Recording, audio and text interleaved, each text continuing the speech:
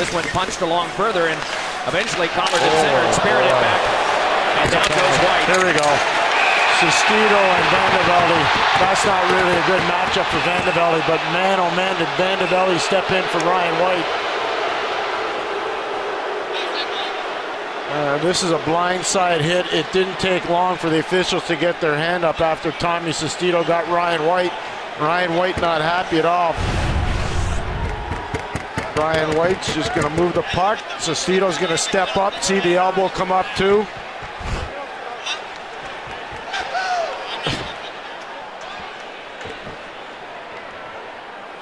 He's all fired up. Looks like a five-minute penalty yeah. from up I, top. Yeah, well, I would agree with you, Eddie. You saw the extension of the elbow to the face of Ryan White, and that's what I think gets him into trouble. Watch him come in, and then the extension right up into the head area.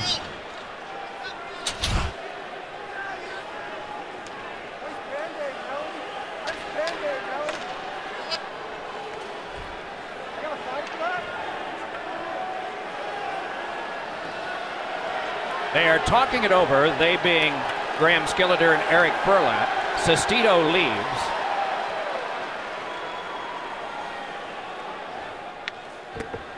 You know, Vandevelde's going to get a penalty as well, so that's what they're probably trying to work out because he jumped in there after seeing his teammate get hit. So that's what the officials are probably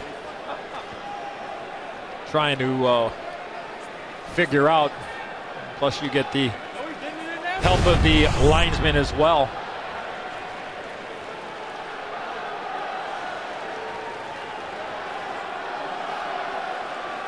Our NBC shows us, our NBC it shows us a different angle from that hit from Sestito on White. Saw Wayne Simmonds put five fingers up to his coach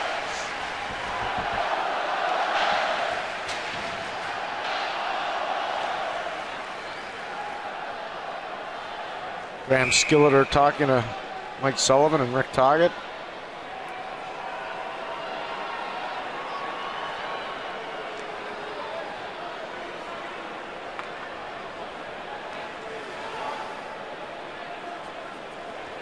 From this conversation, you have a sense that it's gone against the Penguins. That is number 47, Tom Sestito. Two minutes for elbowing, five minutes for fighting, and a game misconduct. Two, five, and ten.